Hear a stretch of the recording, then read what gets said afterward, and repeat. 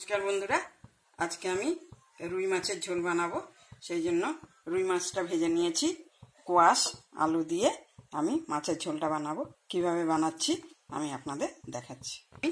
ফোড়ন দিচ্ছি কালা জিরে আর অল্প মেথি।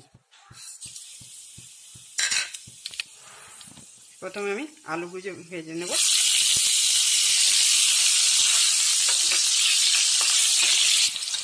এর মধ্যে আমি কোয়াশগুলো দিয়ে দিচ্ছি। আলু আর কোয়াশ একসঙ্গে ভেজে নেব।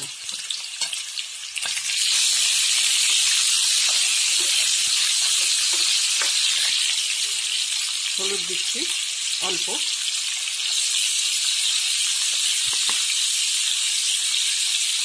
লবণ পরিমাণ মতো দিয়ে দিচ্ছি।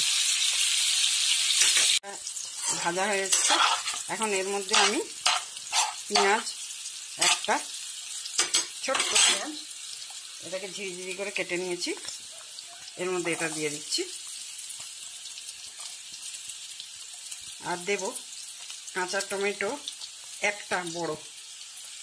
এটাকে এইভাবে টুকরা করেছি। লঙ্কা আপনারা যে যেরকম ঝাল খেতে পছন্দ করেন, সেইভাবে দেবেন। আমি এগুলো দিয়ে দিয়েছি। আদা অল্প ছেঁচে নিয়েছি।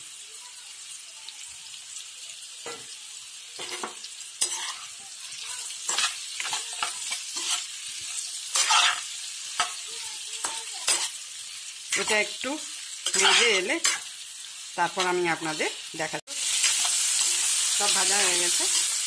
টমেটোগুলো নরম হয়ে গেছে। পেঁয়াজগুলিও একদম ভাজা ভাজা হয়ে গেছে।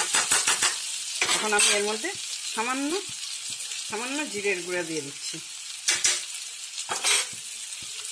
অল্প চিনি দিচ্ছি কালারটা হওয়ার জন্য।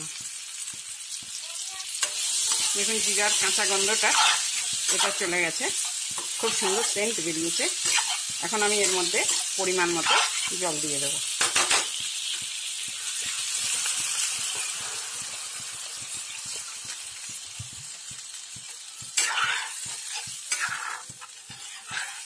এখন এর মধ্যে আমি মাছগুলো দিয়ে তারপর হয়ে গেলে আমি আপনাদের দেখাচ্ছি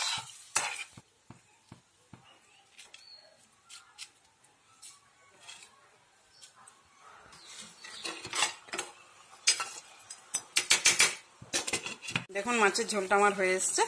আমি অল্প ধনে পাতা দিয়ে দিচ্ছি, বাহারে ধনে পাতা যেটা, এটা দিয়ে দিচ্ছি।